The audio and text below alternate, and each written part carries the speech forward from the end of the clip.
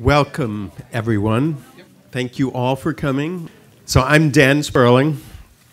I'm a professor at, at University of California, Davis, director of the Institute of Transportation Studies there, and I do have this moonlighting job as a board member for the California Air Resources Board, which actually is relevant here in many ways, but it's also relevant in the, from the perspective of what we're trying to do here is bring science to policy, in, bring universities closer to government, support government decision making and industry as well. So we're holding this, this event is the fourth in a series by the Institutes of Transportation Studies at UC. So the first one, not the first one, but there's, there was one by Berkeley, UCLA, Irvine, and, and now us. We're the fourth one. How many have gone to at least one of the others? All right. Okay, and you're back, so that's a good sign. and, and actually, it's important because we are thinking that it has been so successful and we have been getting such good feedback that we are going to continue this uh, you know, as essentially a permanent uh, event. Not every week, but we'll probably start it up again in the fall and do this intermittently uh, into the foreseeable future, as long as you keep coming, and uh, we'll keep doing it. So this all came about because the state provided some additional funding to the ITS. So until very recently, the ITSs, the four of them that I just mentioned, have been, we've been very successful. Together, we're clearly the number one uh, transportation research center in the U.S. and in the, wor in the world uh, without any without any qualification. Um, and but the thing is, people like that without any qualification, right? No disclaimers. but we came, we developed a lot of expertise. We've trained a lot of students. We do a lot of research. We got great people. But we weren't being able to be really responsive to the needs of the state. And here we are in California. Yes, we're doing a lot of fun, funded project for Caltrans and Air Resources Board, Energy Commission, and others. But at the end of the day, that issues come up, and there's a, a request for us to be responsive. And we didn't have, we weren't able to be responsive because everyone was on grants and contracts, and everyone's committed. So this funding freed us up to provide to be much more responsive. And so we've generated a whole series of projects uh, that are in the policy briefs from those are going to be available soon. The, re the reports will be available. We've been interfacing very closely with, with, uh, many of the state agencies. Every project has a champion in a in an agency, either a state agency or a regional agency. So we're very excited about this, and this is the beginning of a process where we will be able to be much more responsive. And so if you work in the legislature or some of the agencies, you know, please be aware of this. You know, we are going to be, uh, we're going to develop a rapid response team that will be able to respond, you know, shorter term to with memos or policy briefs on issues as we go along. So this is the fourth, as I said. It's the last but not the least. And we're, and, and I should say this is being videotaped and it'll be available soon. I think the first one four weeks ago is just going to be posted today or tomorrow, so there's a little lag, but it will be available, be archived. Um, the last session, led by UCLA, focused on transit. And they addressed the question, why is transit declining? Or at least why is ridership declining uh, uh, overall, uh, given all the investment that's being made. And they, they came up with one hypothesis that seemed pretty compelling, that what's happening is that immigrants who have played a big role in ridership, they are getting cars sooner, they are getting cars uh, more quickly when they're here, and they, after they're here, they're, get, they're purchasing cars and using cars. And because transit, at the end of the day, is a relatively small part of the total uh, travel, that can have a big effect. And I say that because the end conclusion of that is we really, transit is really important to serve those that don't have access to cars. But it has a, a bigger role too, another role, and that is dealing with our, our whole transportation system. And it provides, it takes people out of cars. But if we're only at 1 or 2%, it's not taking a lot of people out of car. That's, you know, 1 or 2% of passenger miles traveled. So what we're here today to talk about is broadening that view of transportation and thinking about new opportunities. So I've been in working in the transportation world for decades. Let me tell you, there's been almost no innovation in transportation. It's been kind of disappointing, actually. But now we're seeing so much innovation. You know, for years, if you think about it in a systems context, our roads have barely changed. Our cars are higher quality, but they're functionally the same four wheels, same capacity, same speed, same fuels. And so now we, we've got what we're calling these three revolutions electrification, sharing, the shared mobility, the sharing economy, and automation. And these, for those of us in transportation, this is just stunning and exciting. And it should be for all of us because it's providing opportunities for making our transportation system much more efficient, more sustainable, more equitable, and less costly less infrastructure, less congestion. So we have, uh, and so I said one more thing um, before we get started. I want to say is that at UC Davis we've specifically created a, a forum. Uh, we call it Policies for the Three Revolutions, and we started it with an, a big conference last fall, and we're using that as a platform and a platform to communicate and provide information. We're going to convene workshops. We'll have webinars, policy briefs. And so that form that you had uh, picked up in the other room, please sign it and provide your email address. And if you're interested, no coercion, uh, and, and we'll make you part of that. And that will be extended to the other camp. We'll be working with other campuses, other researchers, local government, and others. All right, so today we have three fabulous people to speak to you. We're going to I say fabulous, it reminds me of someone else. Um, um, so, first, we're going to have Professor Joan Walker from UC Berkeley, and she's an expert on travel behavior and has been working in, with these three revolutions. And she's going to, she's going to give you, us an introduction to it. After that, we're going to have Susie Pike. She's a researcher at UC Davis and an expert on the policy and behavior also, but we're focus, going to focus a little bit more on policy. And then we're going to say, okay, uh, all of this great research, all of these great university insights are, are good. Now we need a real world reckoning. And Hasan Ikhrata couldn't be a better person to do that. He's been executive director at the Southern California Association of Governments for 10 years. Um, insightful, thoughtful, creative, innovative, and real world. So let me turn it over to Joan. Thank you. Okay, thank you very much. It's really a pleasure to be here. Thank you, Dan, for the invitation, and Molly for all the organizing.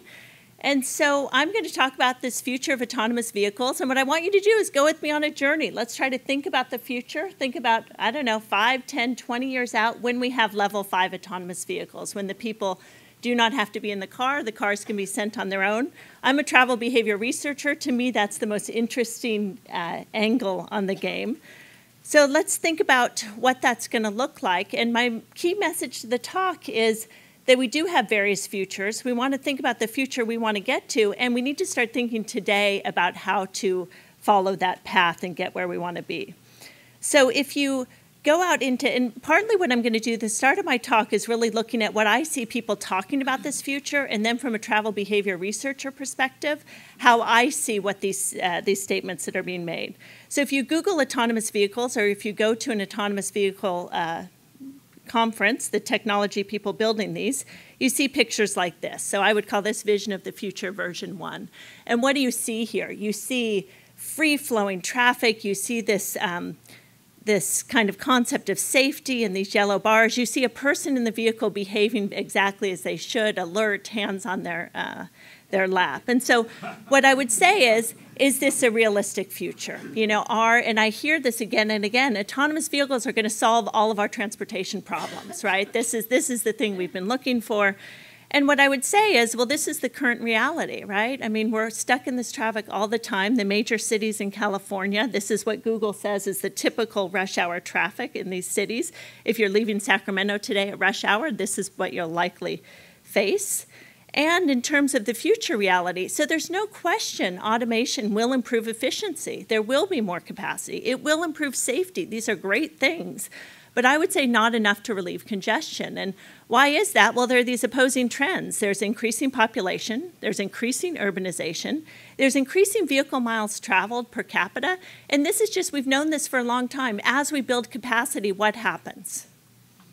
All together now. I mean, latent demand, right? That the capacity gets filled up. And so, and people have crunched these numbers and basically have come up with the conclusion that um, even under the most optimistic technology scenarios, we do need behavior change in order to deal with our transportation and congestion problem.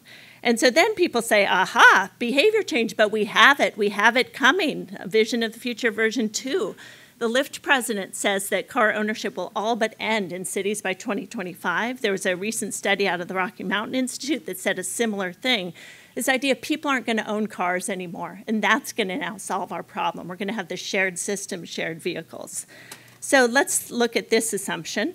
The, um, if you look at these, these calculations, they're often based on cost. Okay, so let's look at the cost assumption. One thing is, is that people aren't rational. People do not consider their full costs when you make trips in your car. You're considering just a portion of that. Um, and then the other thing is, so how many of you own a car? And how many of you own the cheapest car that meets your mobility needs? Yeah, in this crowd, there's a decent number of people. By the way, this year it's a 13,000 car from Nissan, $13,000 car from Nissan.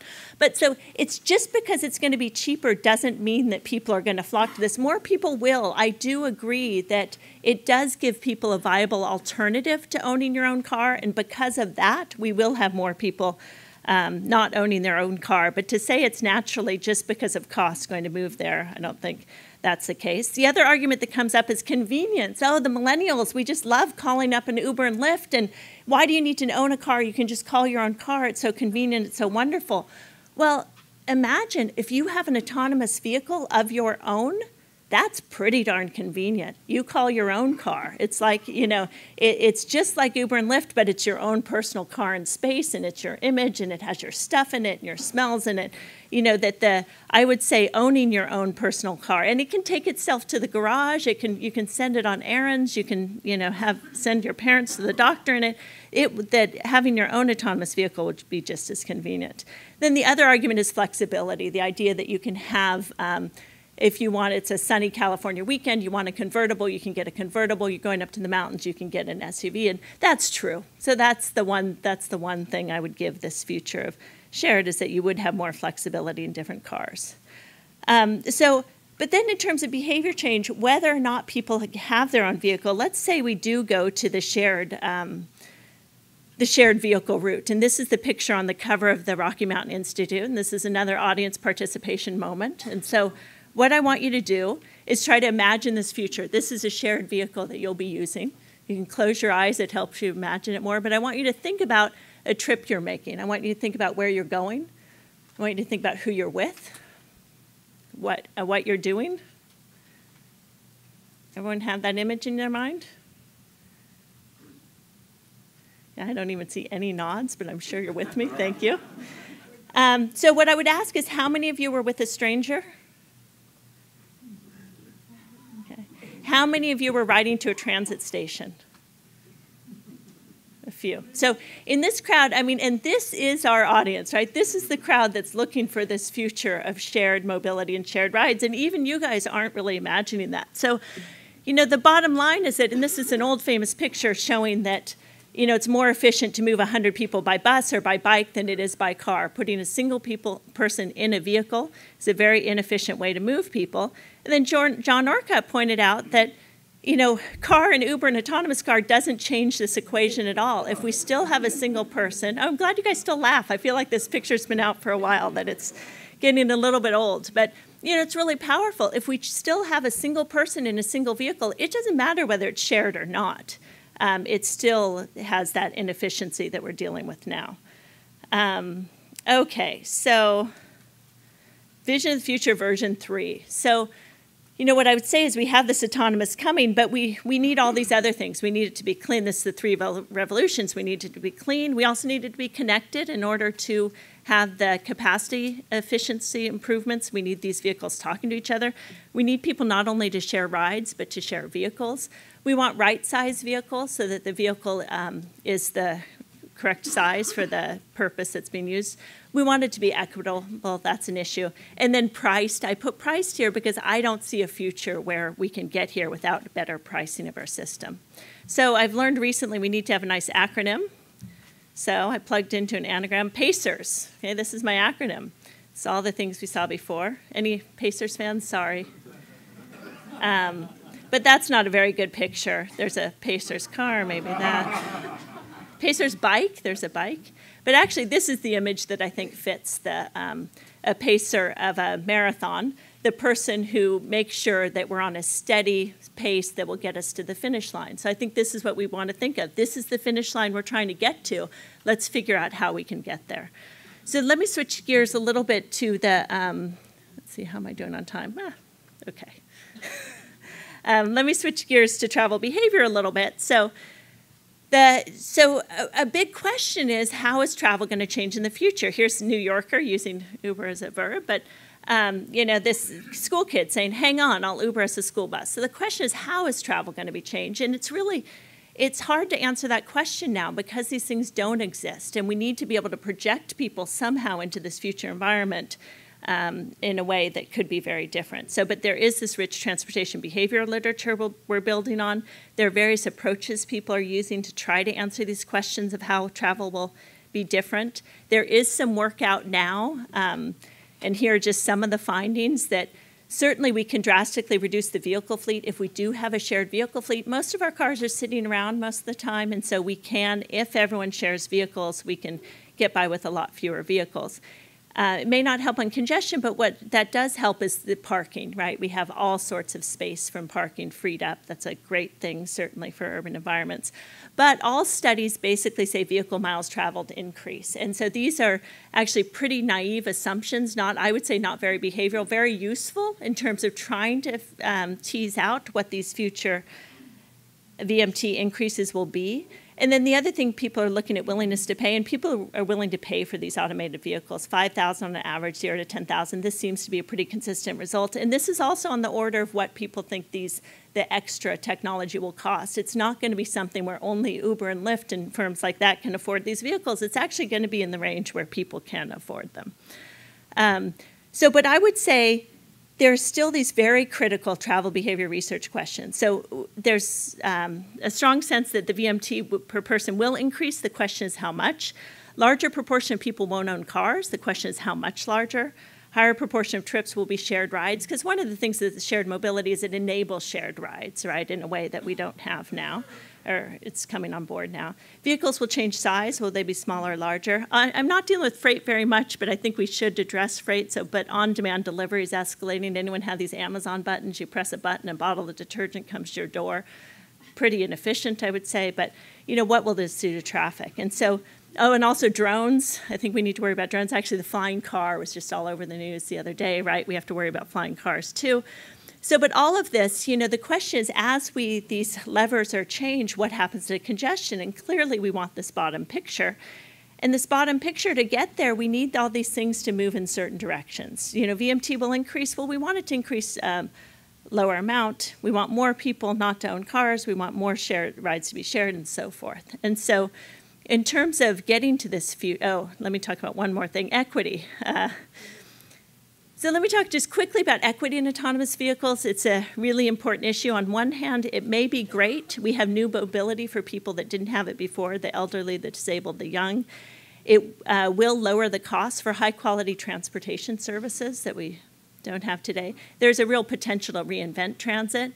But on the other side, there's a potential downward spiral of public transportation services. Public, uh, private firms are coming in, and they aren't taking the, um, you know, the poor riders and the hard to serve areas. They're taking the profitable lines and uh, and things. So we could have this downward spiral. And then if you look at private transportation services, the equity record, you know, are they serving all neighborhoods, all demographic groups, all physical abilities, all levels of credit status, all levels of technological assets? No, they're not. And why would we expect them to? I mean, we have to realize they are private agencies. This is where the public sector has to step in. And then pricing, which I would say needs to be a part of the equation, there's a strong equity issue here, but also it generates a lot of revenues. These revenues can be used to deal with equity, to target equity issues. Okay, so in terms of um, the conclusion, planning for the future, so I would say, you know, I think it's pretty clear we want this version three. And what I, I think what concerns me is when I hear people say, well, clearly we're going to go there. No one, the millennials, they don't want to own car. I look at the behavior. I don't see it. I think with status quo, I don't think it's likely we'll get to version three. And so I would say don't be naive about behavior. It's dangerous to underestimate the attachment to one's own car. You know, all signs lead to significantly more vehicles miles traveled. Public sector must intervene for equity. The other thing is to be proactive, not reactive. So once habits are formed, they're really hard to change. And we have a new, we have this new transportation system coming in. We have new habits being formed, and we need to worry about these habits now. Um, once items are free, it's really hard to charge. So we need to start thinking about charging them, charging for things before people get used to them being free. Social norms are also really powerful. We need to think about how to play out on those social norms and so to get to this future version three, it does require strong incentives and disincentives towards sharing vehicles and sharing rides, towards right-sized, clean, connected vehicles. Zero occupancy vehicles, you know, I feel like my whole career was worried about single occupancy vehicles and how bad they were. You know, now we have zero. They don't exist now. Let's price them. You know, let's price them so that when they start getting out on the road, we have a mechanism we can work with.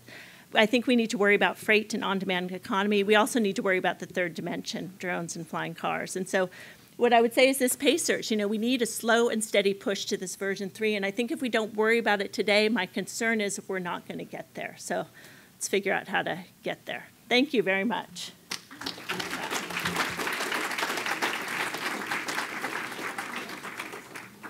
So that so that sets the stage very well. That what we need is a better understanding of behavior to understand who is going to be willing to share or give up ownership and under what circumstances, and then we need policy to intervene. So more than ever in the in, in since World War II, we really need the policy world being engaged here. And so next we have Dr.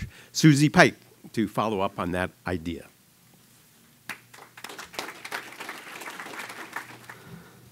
Okay.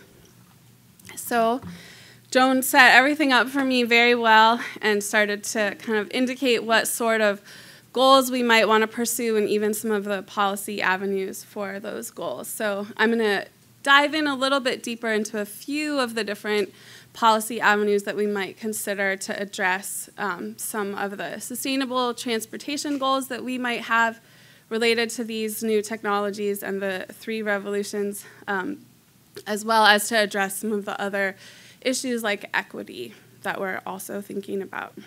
So, just to remind us, we're thinking about this triple revolution. So, we're thinking of automated vehicles, electrification of vehicles, and then the shared use mobility. And what I'm most interested in is understanding how these new technologies and innovations can be integrated with the goals that we already have in terms of sustainable transportation and what kinds of policies we need to, to move forward on those goals given this new and evolving environment that we're seeing in transportation. I'm a little bit optimistic, maybe. We have this um, good this opportunity now to really think about what kinds of policies we need to put in place because we're talking about time horizons that are a little bit um, in some estimates far off in the future, although some say that there's more urgency needed than others. Um, and as uh, Joan mentioned, there's a growing body of research related to a whole variety of things. So, how people are going to adjust their behavior and use these new technologies. There's research estimating the greenhouse gas emissions changes if different proportions of the fleet are autonomous or different proportions of the fleets are shared. But so far, there's little policy. So, um, this figure shows to date, um, about a week ago, the states in the country that have adopted autonomous vehicle policy. And most of the policies that have been adopted thus far are related to um, maybe this sort of first round of issues that are being addressed. So things like safety, liability, um, how these vehicles should be tested on the roadways, and what kinds of permitting is required associated with that. Um, but if our interest is in sustainable transportation, then we want to also be thinking about well, what kinds of policies do we need to be introducing that go beyond these topics and move us into addressing some of the other issues like um, increased VMT or equity challenges. And then if we think about the local level, we see even less activity. So one recent uh, publication uh, talks about um, how local planners are thinking about autonomous vehicles. And they don't really want to do very much at all because there's so much uncertainty about what's going to happen and because it doesn't fit into their routine activities that they need to work on as local transportation planners. So there's very limited activity. On the other hand, there's a lot of excitement around shared mobility, including both car sharing and ride sharing or ride hailing. But mostly that's taking the form of sustainable community strategies or general plan actions, which may or may not have a lot of teeth behind them and a lot of weight in terms of requiring people to do things or requiring cities to do things. So we're still kind of at this um, point where we're not seeing a lot of activity related to how these new technologies can um, be shaped to help meet sustainable transportation goals. So these goals are not necessarily only for shared use mobility, but also for all three of the revolutions that we're talking about. Um, and Joan kind of identified some of these, but I would say that some of the things that we really want to be thinking about are increasing the vehicle occupancy, um, improving multimodal connections in a variety of ways, improved and equitable access, um, incorporating higher levels of electric and low emission vehicles and trying to maybe shift auto ownership towards this shared model. So that's a lot of the behavior change that we want to think about. And then some of the tools that we might use to think about evaluating different policies that I'll go through are what are the costs and benefits? Who is benefiting? What's the distribution of those outcomes? are they feasible? There are some things that I thought a year ago might be great policies, but you know, um, like requiring all autonomous vehicles to be in shared use. But we've sort of missed the boat on that kind of thing, and it's not feasible anymore. Although there might be other ways to incentivize shared use autonomous vehicles. Um, then, of course, logistics. And when we think about the policies themselves, we want to make sure that we're getting things right, like the level of incentives, um, that the scales are suitable for the targets that we're trying to reach, and that who, who is targeted by the policy is the right person or the right entity. All right. So one of the challenges that we think about with autonomous vehicles and also with some of the um, ride hailing is the improved and equitable access challenge. So is everyone going to be able to use these services? And are there going to be limitations? So, two or three um, important policy goals and possible avenues include ensuring fair geographic coverage. And as Joan pointed out, these are private um, interests, right? Private companies that are running these services. So it's challenging to dictate where and who should be um, able to access these uh, services.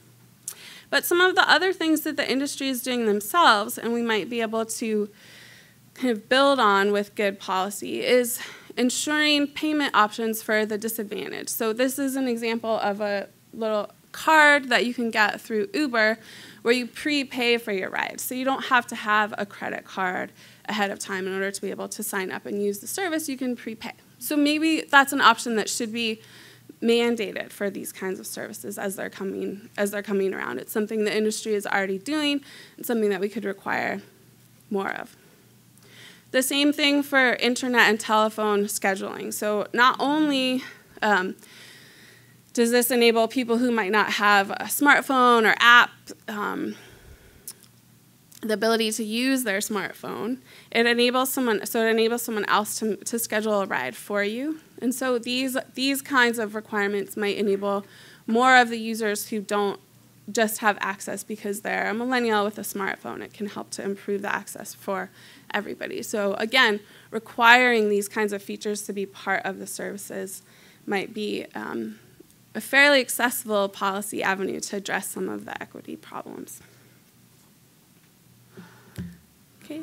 Um, so then another avenue that we'd like to pursue is um, incentivizing autonomous vehicles to both be shared and to be low emission vehicles. So going from this chain of, um, I think these are Google cars, right, to multiple passengers in one vehicle. Um, and so there's a variety of ways that we could achieve this.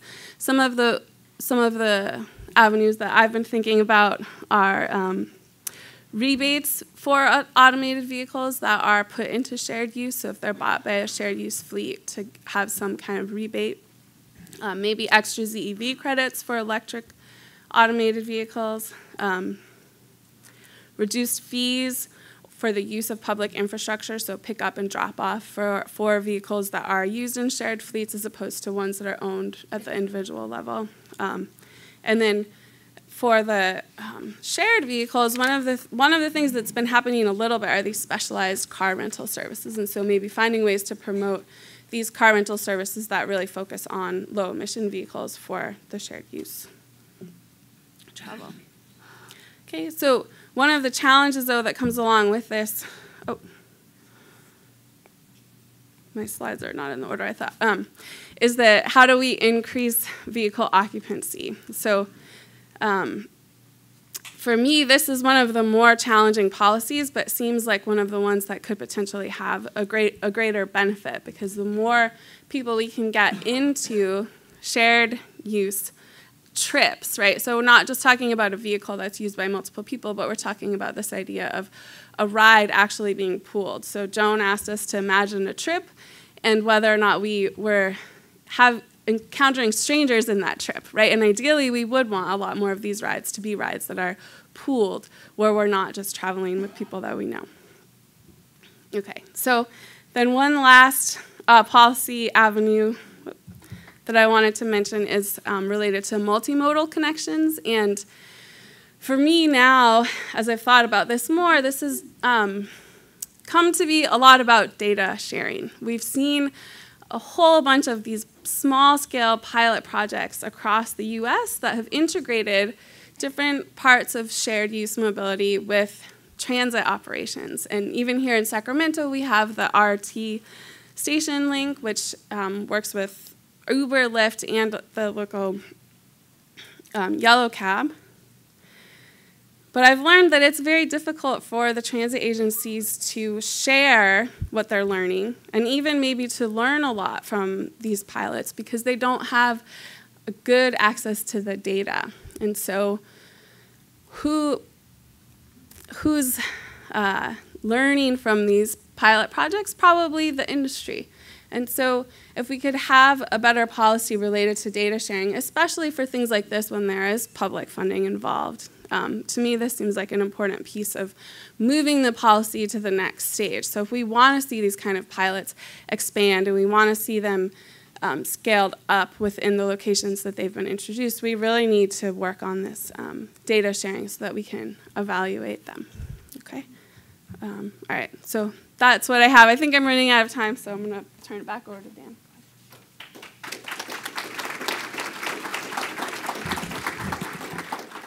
So I think you're starting to get the sense of what we need to be thinking about going forward. You know, higher load factors in the vehicles, but there's all the behavioral issues. You know, are you really willing to sit in a car with a stranger? I mean, you know, we do sit in airplanes, and it's not completely uh, alien experience. Um, Are we willing to give up ownership of vehicles because we need these providers to be utilizing these vehicles more efficiently and, uh, and picking up more vehicle, more people? And if we do create those choices, then as we have more choice, we move away from this model we have now of a single occupant vehicle. So much of our travel, single occupant vehicles. Joan illustrated that so well in that one slide she had. We need to move away from that because we're going to just be stifled, paralyzed, and high costs and congestion and pollution and so on. So, to take all these ideas and bring them into the real world because there are a lot of these partnerships are starting to happen between transit and private providers and there's some you know a lot you know the uber pool and lyft line are here not in sacramento coming soon i hope. Uh, but that is where we're headed and so Hasan Ikhrata knows in the real world more than anyone about this. Thank you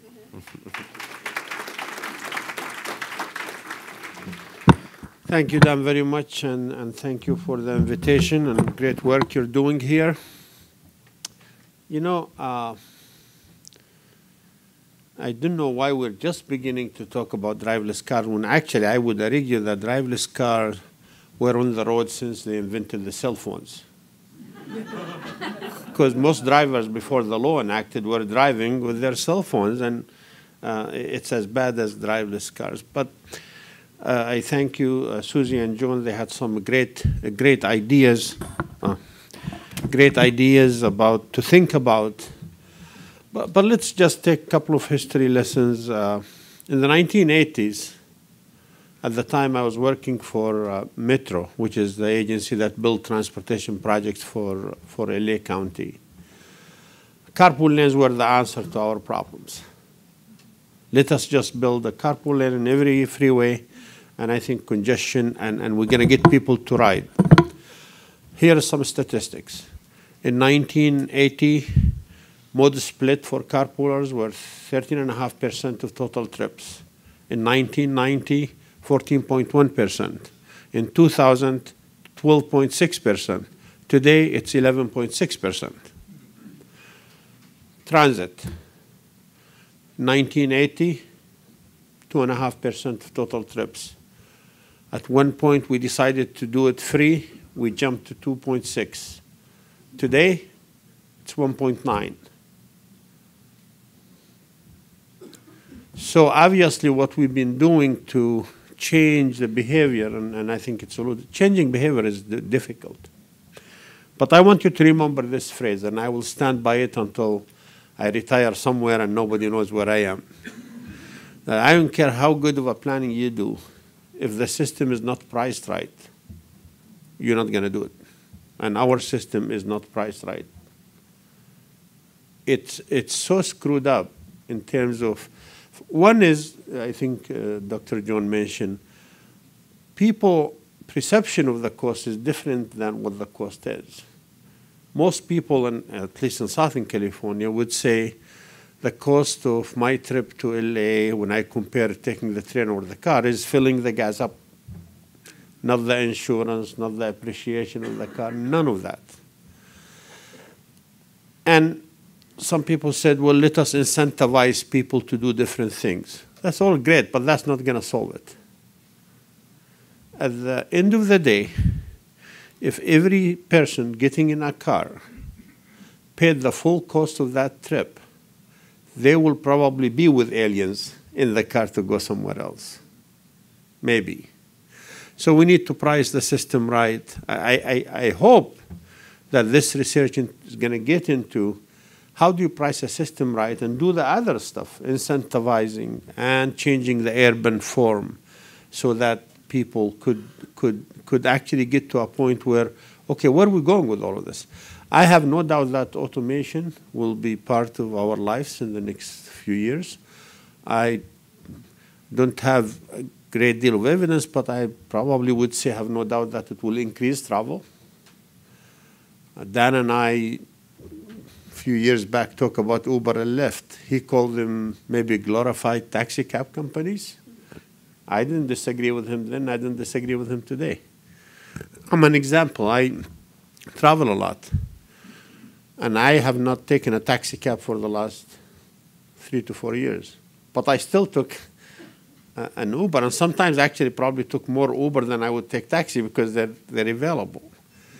So how we move Uber and Lyft from becoming a glorified taxi cab companies to becoming actually a, a mode where we could have less drivers on the road. So how do we get people to share? You know, the third, the third revolution. How do we get people to share the autonomous vehicles so we get somewhere? We need to price it right, and we need to give, you know, every I think Susie mentioned data. And I told Dan earlier. Everybody tells me, oh, we have this data and we have this data. And I say, okay, give me this information. Oh, I don't have it. So what's the point of the data if it doesn't turn into information that add value to the subject we're talking about?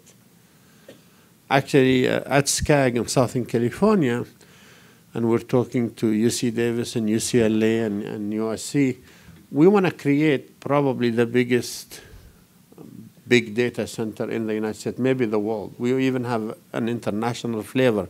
We're willing to put 20, 30 million dollars to do it because I believe information is not available to a lot of decision makers to make the right decisions.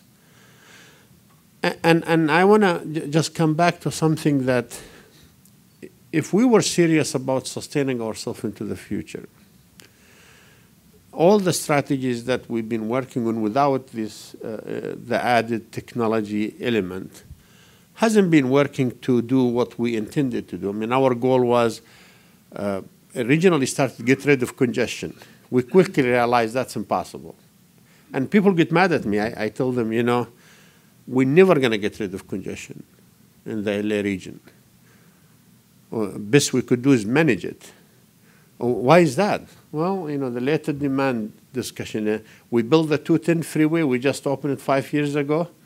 It became the worst freeway in two years of all the three east-west corridors in the SCAG region. Congestion is getting so bad in the SCAG region. It doesn't matter whether it's Friday, Saturday, Sunday. You know, how many of you from Southern California? How many of you think that it matters what time you're on the road? It's, it's bad. It, it's really bad. Now, get back to this, and this is why I'm excited about the research, and I, that is my hero, and, and I would support this research as long as I'm, I'm, I'm able to. We need to get to a point where we actually make sense out of the policies that we're trying to, to, uh, to, to move forward. Just simply by saying, let's incentivize people to share is not going to work. But let us so, like we just did stress tests, the, the Metropolitan Planning Organization, the four large ones, representing 85%, MTC, SACOG, SANDAG, and SCAG. And we tried to figure out what is the most we could get from, uh, by reducing greenhouse gas emission from strategies. By far, pricing was the only one that works. We push the envelope in land use, we push the envelope in incentivizing, we push the envelope in transit. But when it comes to pricing, that's the most cost-effective strategy. Now, people, this is not popular. People said like, ah, I already paid for the system. Why should you price me again? You have to explain to the people that didn't pay a fraction of the cost of the system. How many people put in their calculation paying for the health cost that this pollution causes when we drive? And so I would hope, this is my hope, that the end of this project, we at least understand where the faults are. And when it comes to the three revolution, they're real. We need autonomous vehicles to be shared autonomous vehicles. Because otherwise we're going to have more vehicles and the picture, uh, you know, worth a thousand words. I'm going to conclude by this. I, I believe I'm not surprised transit ridership is declining. Actually, it's declining significantly in Los Angeles area. In Orange County, it's down 30%. In LA, we're adding a lot of transit, and it's down six or seven percent, and I think it will continue. One, Dan mentioned the immigrants, but I also believe that if you want to have a working transit system, it has to be demand responsive, it has to be convenient, it has to do everything that an autonomous vehicle or an Uber will do. And I think we have some good news. I think Uber pool and Lyft pool, combined with some good land use policies, maybe the state of California one day will will try to do what Governor Brown tried to do with the buy right, you know, to build houses so local elected officials don't have to face that political. So with that, I'll stop and, and we'll open it up for, for, for questions.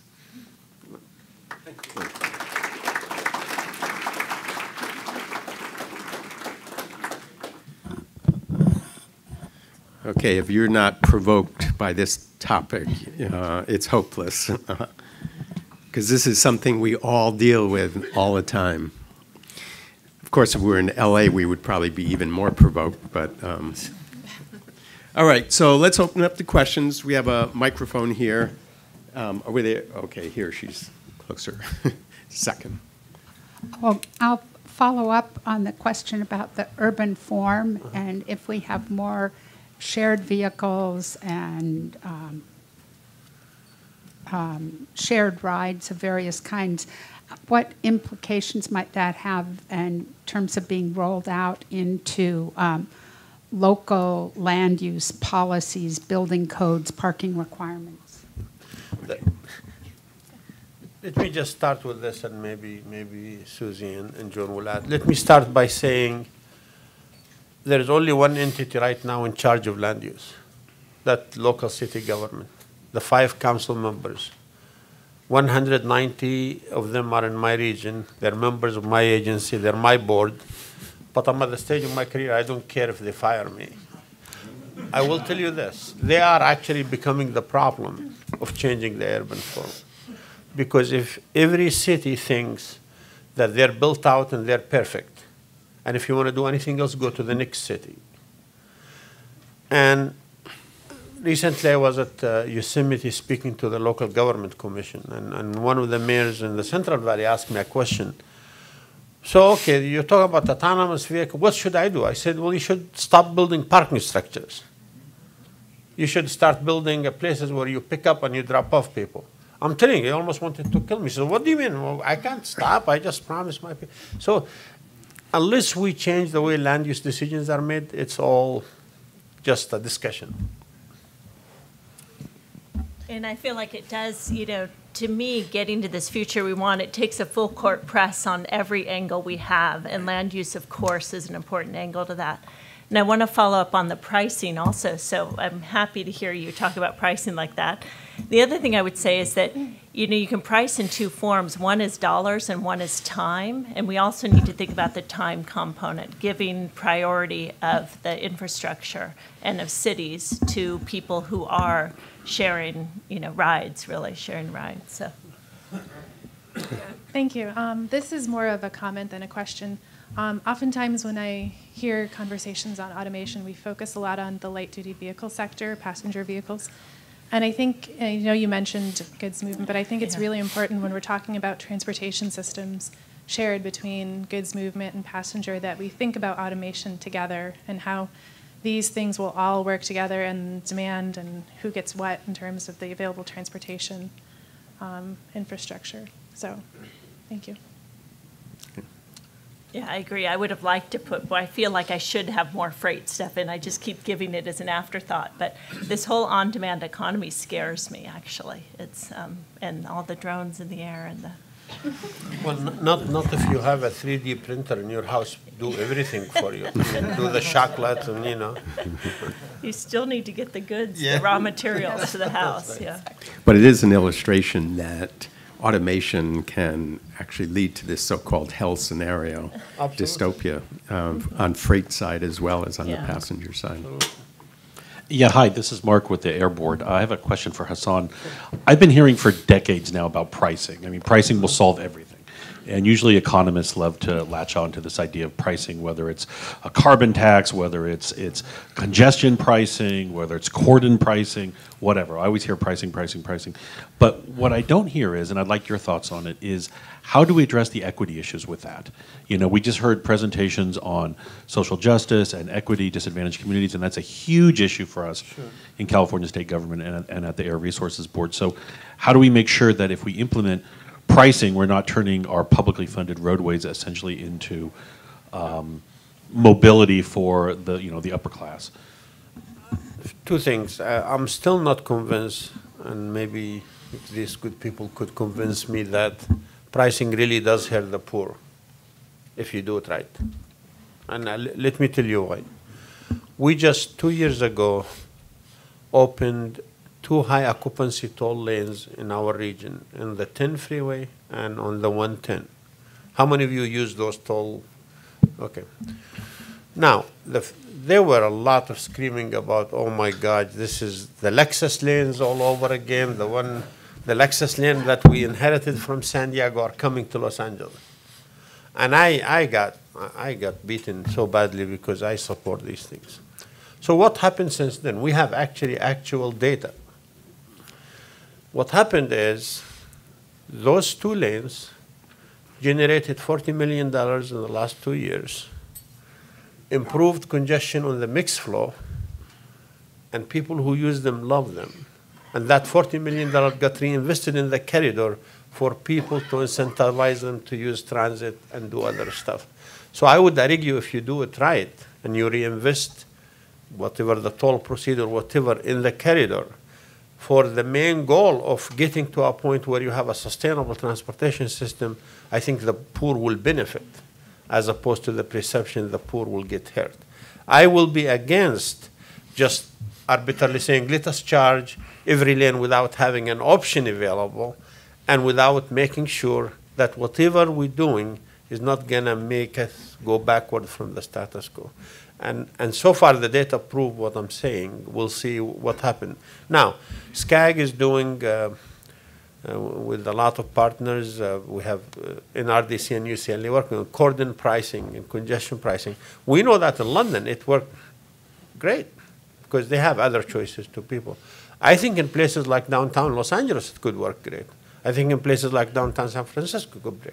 Could it work everywhere? No. We just have to apply the right thing in the right place. Yeah, you know, I would, one thing Hasan said that I'd emphasize is creating choice. The problem is people don't have choice. And once we create choice, then there's a lot more options, poor, rich, everyone. And it creates the opportunities to provide first and last mile service to transit. It provides mechanisms for providing service to low income people. You know, it does mean transforming our transportation finance system, which we missed that opportunity um, very recently here in Sacramento. But there's so much opportunity, and that's what this all is about. Is we're creating now. This is different from the past. And, and, and then on the, on the equity issue, just 70% of total funding in our region comes from local sources called sales taxes. These are the most regressive Yeah. way of collecting transportation money. That hurts the poor, not, not the tolling the way we talk about it. So, I mean, there's a lot for us to learn from what we did and apply it to the future. Mm-hmm. Where's the microphone? Okay, go ahead. Yeah, this is Bill Dean from CalEPA. You, you've talked about with autonomous vehicles, there'd be more of them on the road, but if they're all connected to each other and they can travel closer to each other safely, even though there might be congestion, won't they be able to travel faster than the cars in congestion today? Well, there will be more capacity, so you can get more throughput. But again, if the demand is beyond the capacity, then you hit congestion. So the idea is, is that the, if we increase capacity now, sure, we can serve the demand today and have free flow, but the demand isn't going to stay as it is today. It's going to grow to push against that. Whatever capacity is built, the demand will grow. So. This, this argument, though, I, I think this is an important point. I, I think we should not pour another inch of cubic concrete anywhere because, because connected vehicle, actually, technology could double, triple, quadruple the capacity we have today. You know, I, I'm an engineer, so I'll go. uh, capacity is a function of speed and spacing. If you could control spacing, you add capacity. So if you want to build another freeway, just deploy technology. Having said that, we get back to again, if you make it easier for us without doing other stuff and providing other choices, we're all going to be dri- uh, calling our own autonomous vehicle to come pick us up, and we'll have too many of them even for that added capacity. So it's it's about policies that sustain itself into the future. I would, I would also point out that those kind of improvements in capacity are probably quite a long ways off because Yeah. before we get to all the cars on the road being automated, we're going to have some time when there's various levels of mix, and we won't nec- we won't be able to see that improved speed for I think some time. But that highlights the need for higher load factors in our cars and vans and so on. So, yes. Uh, hi, Mark Wenzel, CalEPA, and I just wanted to offer a slightly more optimistic take on freight than Dan's hell scenario, uh, which is, uh, but following the same premise that a lot of these, uh, you know, freight delivery systems are going to be more on demand and more individualized. I think uh, one of the things that autonomous vehicles offers is the possibility for a redefinition of vehicle. Uh, so Yelp right now is testing a system in San Francisco where they deliver uh, takeout meals in essentially what are coolers on wheels. Uh, they are uh, autonomous vehicles that are driving on the sidewalks. Uh, so I think when it gets to the point where you say, uh, instead of going, Alexa, add milk to my shopping list, Alexa, bring me some milk, and then this cooler shows up with what you need. Uh, in that case, uh, it, it does increase vehicle miles traveled, uh, but if you redefine the vehicle from being a big steel box with one person in it to a much smaller vehicle uh, without a person in it, then we also have to close that loop back from what a freight is to what a trip is and the kinds of trips that people are going to take. And you want to be walking down those sidewalks. I know.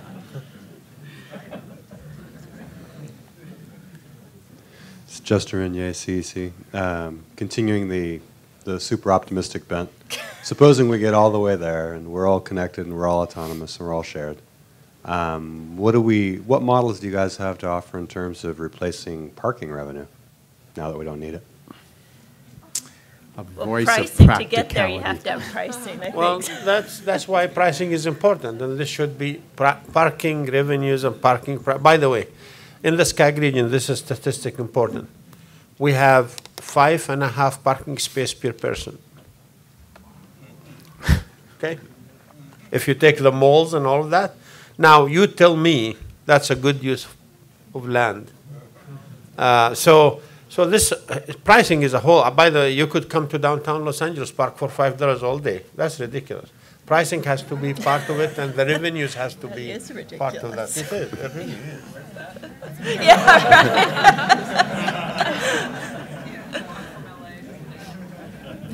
Hi, um, I wanted to add to Hasan's response about how to handle pricing equitably, um, but first endorse that pricing is central to the future of transportation, regardless of the vehicles we travel on, if we're going to find a way to finance our infrastructure.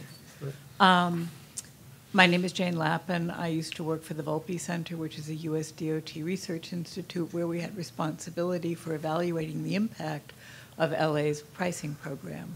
And along the corridor, I believe it was the San Bernardino corridor, there was a trial for people who took transit. Right. They earned credits Right. that they could then use Sure. Um, on pricing. And so that's another way to equitably Sure. distribute um, for pricing. Sure, absolutely.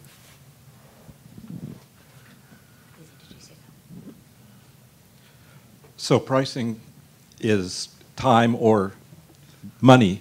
Uh, people need fitness, so often they people drive to the gym. Um, active transportation can eliminate a lot of that need uh, for and and gain public health. So alternative modes for safe short trips is important. Um, what policies lead to facilitate this?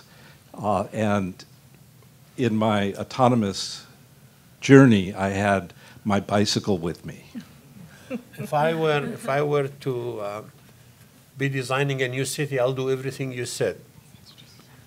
But our problem is we, we have a- an urban form that we're gonna have to make work. And to do all this, to go to the gym walking from your house or biking or using transit, you have to have options that are not available today. Now, can we still do something within the urban form? Yes. Is it difficult to do it statewide? Absolutely. It's very difficult because in some places there is no choices. Um, I'm Jeff, an advocate, and I will talk about Sepulveda 405 in Wilshire for the many years from 60 forward to seeing what that intersection is like, and as you talk about it. But public policy went this year to the STA when the previous director was there and showed that Berkeley used a magnetic levitation, shall we say, mechanism for bus transportation, giving an automated or autonomous level for returning destination. Much like your San Fernando, um, should we say, I think it's uh, Universal City to Warner Center. But the interesting part was they could not do that in California because policy in California would not allow that type of testing with the driver. So it was done up, I believe, in Washington. And what I think of the other one of the most efficient system that I've heard or seen is what goes on in Washington, D.C., where you do a various shared riding and other things picking up at various points. Just curious how well that model has been uh, observed. How's that for loaded? You wanna go No, first? go. You know, I- if I understood you- your, your question correctly, look, uh, even if California allowed the testing, and even if we have magnetic levitation, even if we have a high-speed rail that magnetically levitated and done, that's not gonna change what we're talking about. No, I'm just talking about Yeah. for that they did that so they repeated every single time. Frankly, I, I told Dan earlier, fixed route transit is a good thing, but it's not gonna, it's not gonna change the mode split from one point nine percent to fifty percent.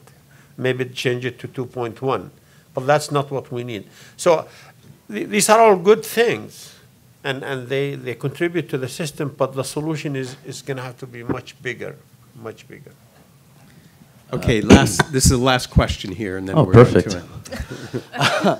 My name is uh, Dustin Foster. I work for Caltrans. Um, I'm to be a bit critical, actually. Um, I think when we think about the three revolutions, certainly they will. You know, it's, it's probably fair to, to assume that they'll uh, help with congestion.